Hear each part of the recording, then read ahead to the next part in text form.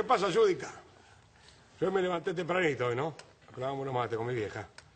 Nos fuimos para el cementerio a llevar una flor al viejo que compramos ahí siempre la tapuera. Está fresquita, ¿viste? Es una ceremonia, cada uno la vive como quiere. Siempre está de cuore el viejo, ¿no? Pero es una forma de ir, con mi vieja nos sacamos el gusto, compramos una facturita, tomamos mate con una factura ahí, donde está el viejo.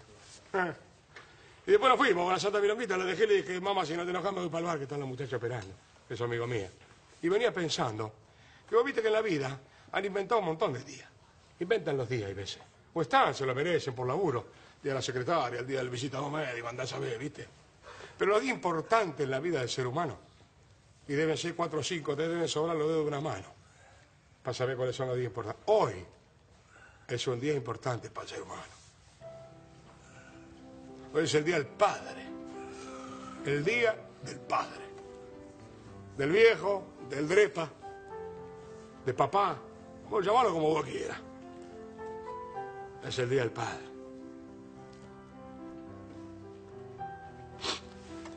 Entonces yo pensaba, ¿no? Cuando venía para acá. Tener un hijo no te conviertes en padre. No es tener un hijo nada más. Porque si no, yo tengo una pelota en mi casa, me convierto en ese jugador de fútbol, ¿no? Para ser padre vos tenés que tener ganas de ser padre. Tenés que aprender a ser padre. Tenés que esforzarte para ser padre. Pero lo más importante de todo, para ser padre, hay que estar. Hay que estar. Tu vieja te da la vida y tu viejo te enseña a vivirla, papá. ¿Cómo te enseña a vivirla? Y con la palabra, con el ejemplo, estando ahí, con el afecto, que es muy importante, pero también con los límites. Un viejo que pone límites te está enseñando a vivir. Es mucho más fácil no poner límites. Es mucho más fácil, soy papá porque soy papá.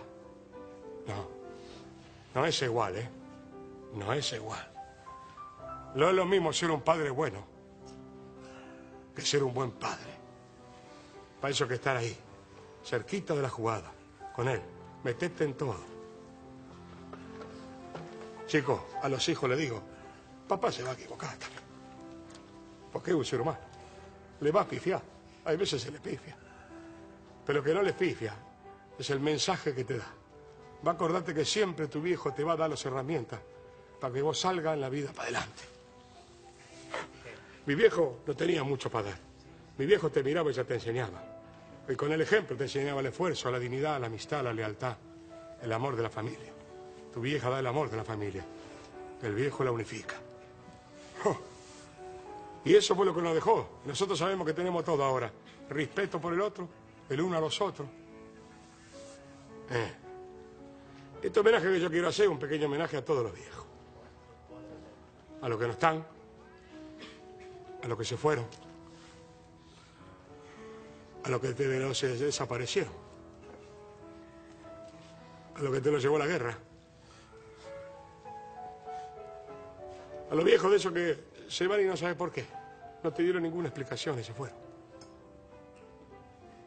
a los viejos que no tienen a los hijos también, esos viejos también merecen un abrazo hoy. Por eso vos, que estás en tu casa hoy, me parece que es el día del padre, así porque sí. Es el día de tu padre. Y si está distanciado, porque puede estar distanciado, puede hacer mucho que no lo ves, porque tengo mucho laburo, papá. Tu viejo está solo en casa. Tengo mucho compromiso. Tenés 10 minutos, tenés para tomar una mate. Si no pudiste, hoy es el día.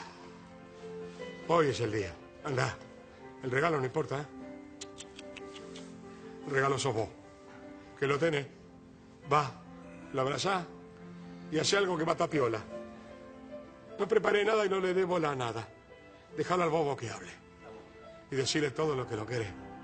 Sí, es lo más importante de todo. Porque, como dijo Judica antes, yo te lo digo, porque a lo mejor un día va a ser tarde y ese al divino botón. Lo tenés hoy, dale hoy. Yo, al mío, esté donde esté, yo sé que me está mirando, le digo, gracias viejo, gracias, te quiero mucho.